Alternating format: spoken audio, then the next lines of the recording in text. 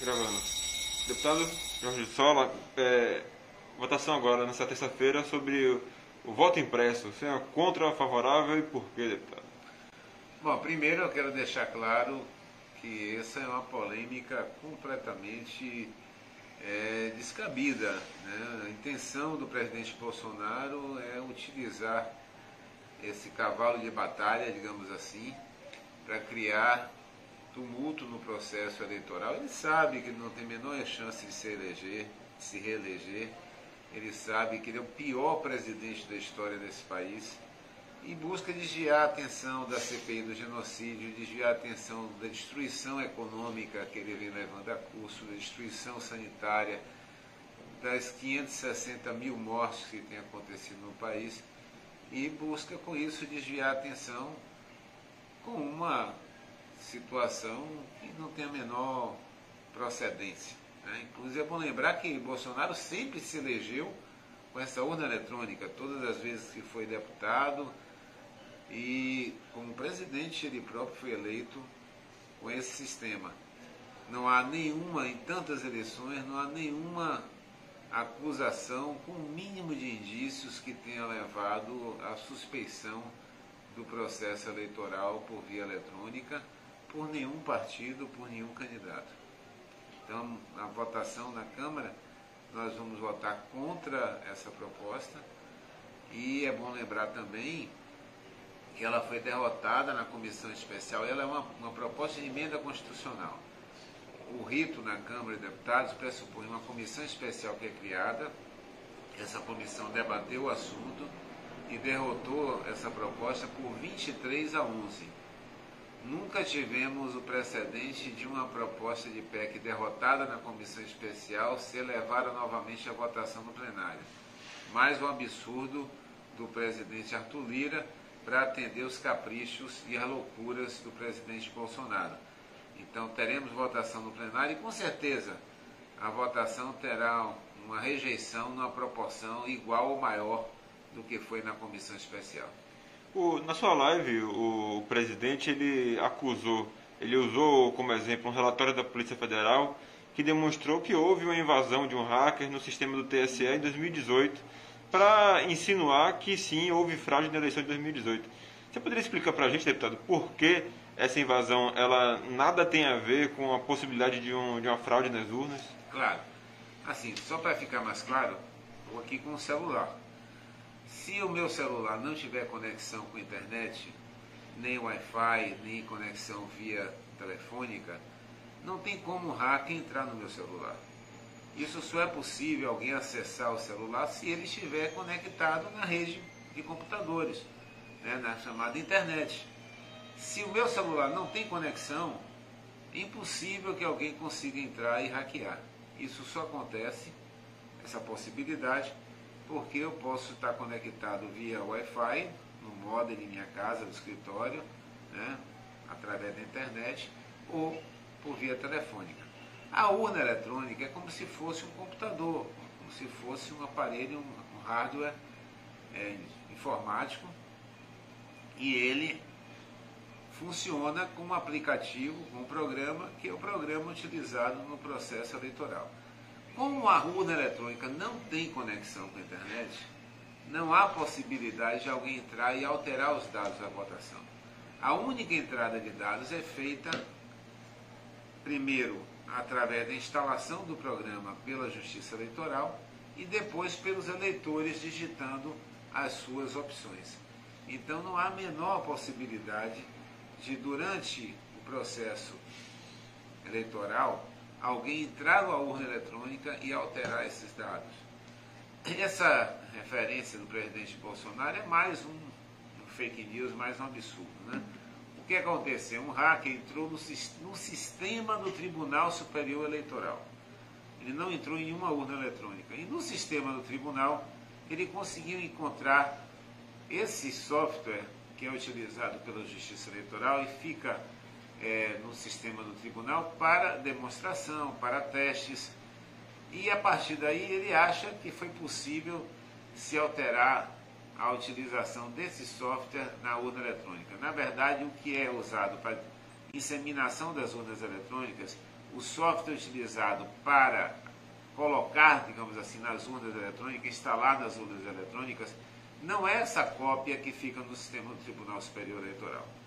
Portanto, a cópia que é utilizada para inseminar as urnas, para instalar nas urnas o programa a cada eleição, não tem nenhuma chance de ser contaminado com vírus, com alteração qualquer, porque ele fica separado em cofre, sem nenhuma conexão com a rede mundial de computadores. Portanto, é mais um absurdo. Bolsonaro se elegeu com base na mentira, governa com base na mentira e quer tumultuar o processo eleitoral com base em mentiras. Última pergunta, deputado. E aí muita gente fala, pô, mas por que não colocar também um voto impresso? Porque seria uma garantia a mais de uma idoneidade da eleição. E aí tem um, uma série de questões com relação a testes que já foram realizados com as urnas é, digitais com voto impresso, de problemas na, na, na, impressora, de problemas de várias ordens diferentes. E eu queria que você pudesse lembrar para a gente a quantidade de fraudes que havia sim com voto impresso antigamente. Pois é. Eu, com meus cabelos brancos, tive a oportunidade de participar ainda de eleições com voto, antes da urna eletrônica, com voto manual, com voto preenchido com caneta e contado nas mesas apuradoras. Antes disso, Rafael, eu quero chamar a atenção o seguinte: o processo da eletrônica é totalmente auditado.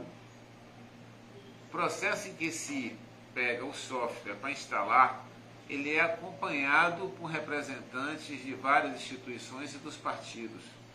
Durante todo o processo da chamada inseminação das urnas, isso é completamente auditável e acompanhado. E depois de todos os processos de auditoria, ainda tem um último no dia da eleição, onde são sorteadas urnas no Brasil inteiro, essas urnas são separadas, essas urnas são feitas uma demonstração, uma simulação usando o software e a lista de candidatos que está na urna, é filmado o voto de cada pessoa que vai lá simular a votação e no final é feita a apuração batendo com sorte. Então não há menor chance. E até hoje, não é por acaso que até hoje não se encontrou nada que pudesse levantar efetivamente suspeitas sobre a idoneidade do processo do voto eletrônico. Mas quando comparado ao voto manual, a diferença é gigantesca.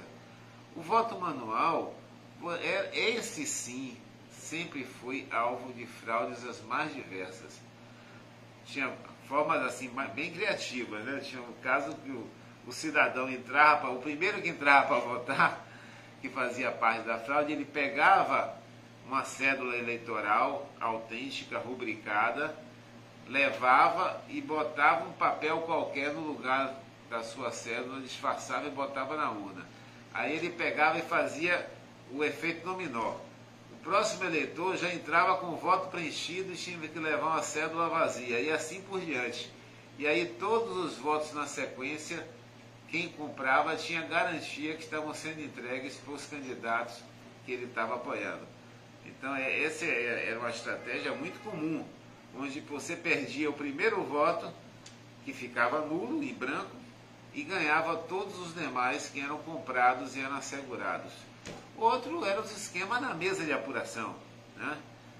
É, a primeira eleição que eu participei, eu já comentei outras vezes, que a gente não podia nem encostar na mesa e tinha mesários que eram completamente articulados. É bom lembrar que Valdir Pires perdeu a eleição no, no, no chamado mapismo. Né?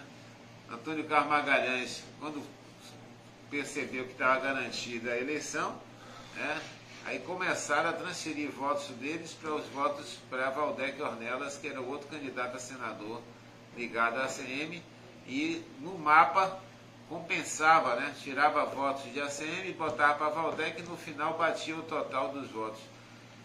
Votos mais diversos, várias formas, além da pressão política e da pressão sobre o eleitor. Né?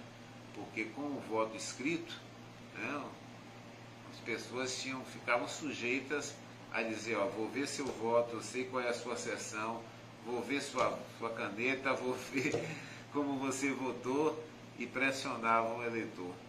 Agora o que eles querem com o voto impresso é a mesma coisa. Nós não podemos voltar ao tempo em que o eleitor não tinha o sigilo, não tinha a sua tranquilidade de poder votar sem a pressão do cabo eleitoral, sem a pressão do candidato e agora é bom lembrar também sem a pressão da milícia.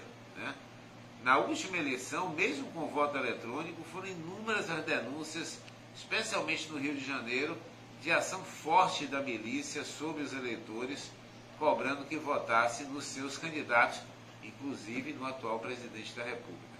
Por isso, não podemos permitir voltar ao tempo da fraude, da pressão, das articulações ilícitas para burlar o voto do eleitor. O Brasil conquistou um sistema de confiança reconhecido em inúmeras eleições e tenho certeza que iremos preservá-lo, apesar das insanidades do presidente Bolsonaro, da sua mentira, da sua fake news, da sua tentativa né, de melar o, o jogo democrático.